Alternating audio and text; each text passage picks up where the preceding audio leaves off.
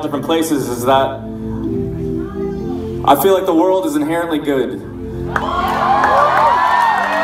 are good. There is evil, but the world is inherently good. The media doesn't show us that.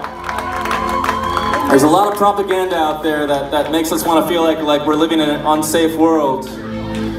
You know, um, to push whatever agenda they want to push. And, but then something like last night happens in Vegas.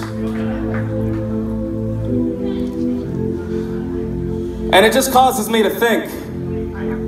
Because we all remember when Newtown happened, right? When 30 kinder, kindergartners got killed. And after that, the whole, the whole United States was united. Actually united. Saying we got to do something about this. And it didn't happen. And, and, and at this point, I'm not trying to get political with you guys because at this point it's not about politics. There's been so many mass shootings since then. I read a statistic that 150,000 Americans have been killed by guns since Newtown. Just since Newtown. 150,000. So, it's not a Republican thing, it's not a Democrat thing. It's a human thing.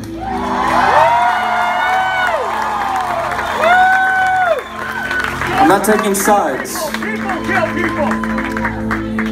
We have the, you know, the, the, the freedom to be happy, right? That's in their constitution. Life, liberty, and happiness, right? The pursuit of happiness means a lot of different things. It means a completely different thing for those 60 people that went to a concert to be happy and just be with their friends, and now they got killed. Now that now you know now they're gone. Now their families are mourning. That was their pursuit of happiness, right? So I don't know. I, I, I don't have an answer, but I just think it's I think it's like it's a moment where we should all look, look within ourselves and think about it. That if there's a bill on the table that, that bans assault rifles, maybe you vote for it.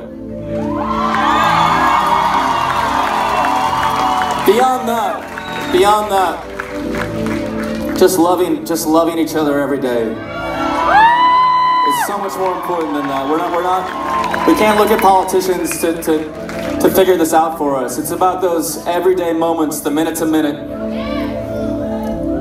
the little moments. Those are the things that change the world. It felt wrong for us tonight to play Pumped Up Kicks. It, it felt like it would have been irreverent. Even though that song is about gun violence and, and, and, stopping that. So, so we decided to play something else for you guys tonight. By John Lennon.